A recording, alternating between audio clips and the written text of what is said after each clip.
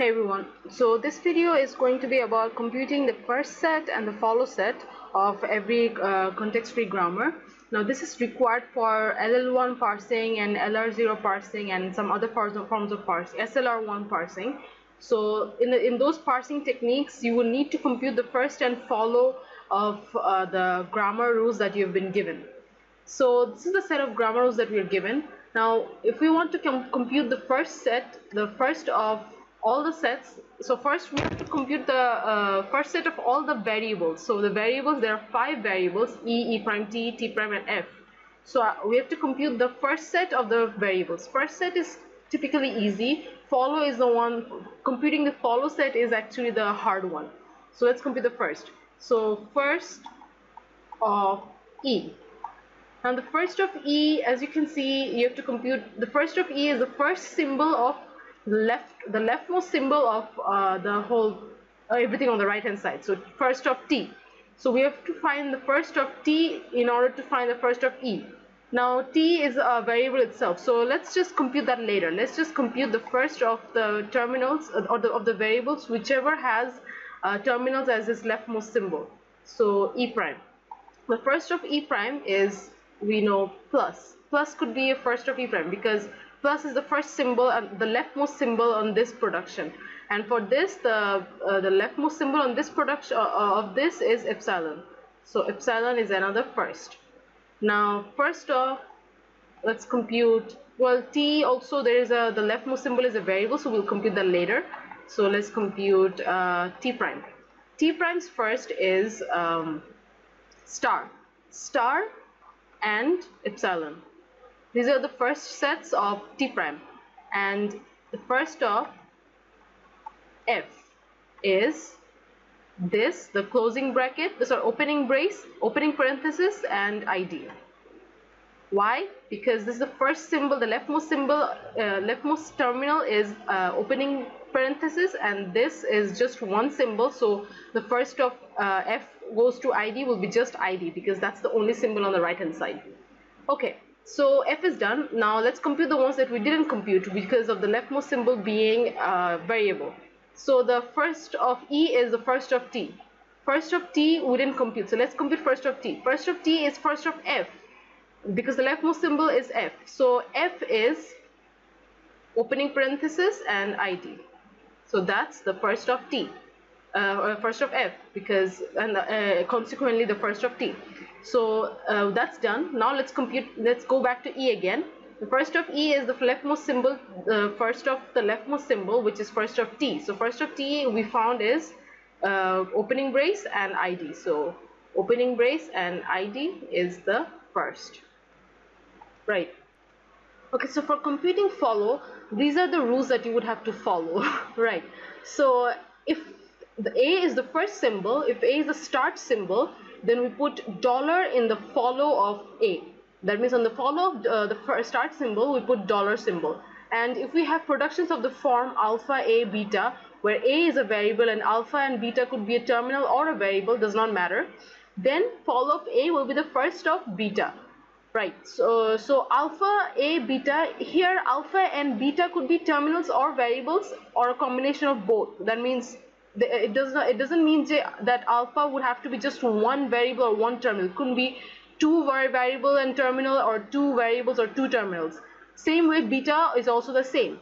Again if we have the productions of the form alpha a just alpha a that means alpha a and beta is epsilon then we would uh, the then we would have to add follow of a. This follow of a will become the follow of beta. Sorry follow of b. So let's compute so we know that as the first symbol goes, uh, E is the start symbol, so dollar will be in the follow set first. We know that. Now let's just compute uh, alpha A beta sort of grammar. Uh, just change the color. Okay, so alpha A beta. So this looks like one alpha. This looks like this could be an alpha A beta. So alpha A beta beta. Let's just think that's epsilon. So that means this could be of the form alpha A, just alpha A. So let me just erase this so it will be just alpha A. Right. So we know that if it's alpha A, that means uh, follow of A, that means follow of E prime will equal follow of E. So follow of E prime will be follow of E. So let me just note it down. Follow, uh, sorry, follow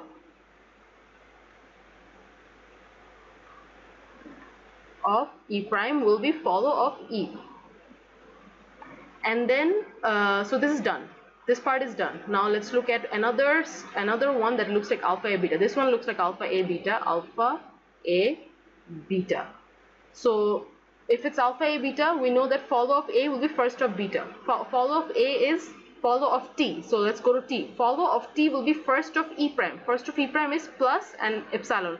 Now remember that in first set we could put epsilon but in follow set we can never put epsilon. We would have to always uh, cancel epsilon epsilon can never be in a follow set. So as we know follow of t will be first of e prime. So first of e prime we would just take plus. All right. So that's done. Now let's compute alpha a beta for this. Alpha a. Well no beta so alpha a. So that means follow of t prime will be follow of t. So follow of t prime will be follow of t. That's done now alpha a beta. Alpha a beta. So follow of f will be first of t prime. So first of t prime. First of t prime is star star. So star. Right. Now this this one alpha a beta. So follow of a will be first of beta. So for uh, follow of e will be another one will be open uh, closing parenthesis so that's done now uh, what we uh, now let's see if we could just have combinations of terminals and variables to get alpha and beta so let me just erase some part now here notice that e prime goes to plus t e prime. Here e prime is also, uh, there is a rule for e prime where e prime could be epsilon. So if we would think that e prime becomes epsilon here, so we would have a production of some that somewhat looks like this. So e prime, e prime goes to plus t. Because e prime, this e prime will become epsilon uh, if we would derive, if we would do derivation here. So uh, let's think that this is a this is the, this is a one that looks like alpha and beta. So alpha a sorry so alpha and a so follow of t will be follow of e, e prime here uh, as this rule goes so follow of a becomes follow of b so follow of t will be follow of e prime so as you can see uh, follow of t will be follow of e prime so follow of t will be follow of e prime. Same goes for this. If you would just replace t prime with epsilon, you would have follow of f will be follow of t prime. Follow of f will be follow of t prime. Finally, we'll be left with something like this. So these are the follow sets of each of the variables. So dollar, close parenthesis, dollar, close parenthesis, and these are the follow, state, uh, follows follow sets of the remaining ones. Union is we just unifying plus with the follow of e prime, whatever we got in follow of e prime. So we just unified all the terminals and that's what we are left with. So if you could just pause this video and jot this down, these will be what we will be left with and you can check your answers. Now I'll be moving on to another example to clarify this further.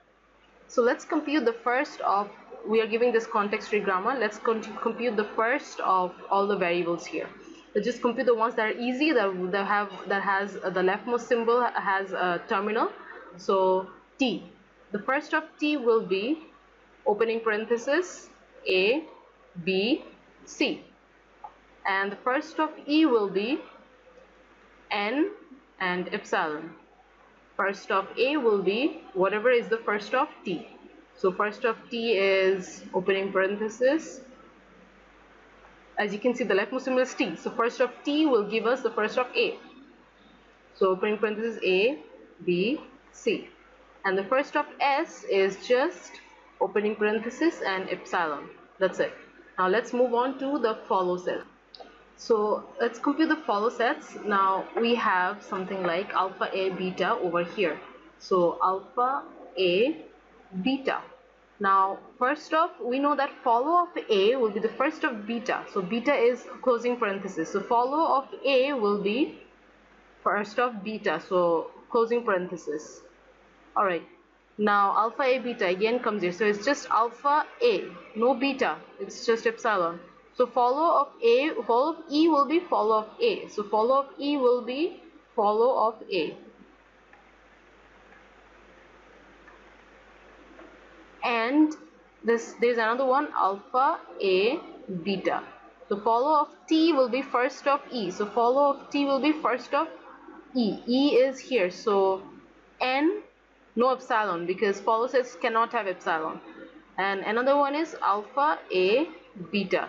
So follow of A will be follow of uh, first of beta. So we already got that. First of beta is this one. Now again notice that E goes to N T E. Here E is he, E can be cancelled out because E has a production that goes to epsilon. So we would get the resulting production as E goes to N T and this could be written as alpha and A, just alpha and A, no beta because beta will be epsilon here. So follow of T will be follow of E. So follow of T will be follow of E. So let's just compute all of these, the final, the final follow set. So this is the final follow set that you get after unifying everything and just writing it down all nicely and stuff. So that's about it for first and follow sets. I hope this was clear. We'll move on to LL1 parsing later on and this is a very fundamental, fundamental uh, thing that you should know before computing, going towards computing LL1 parsing. Uh, so please give a thumbs up if you like this tutorial and um, to support this series and good luck.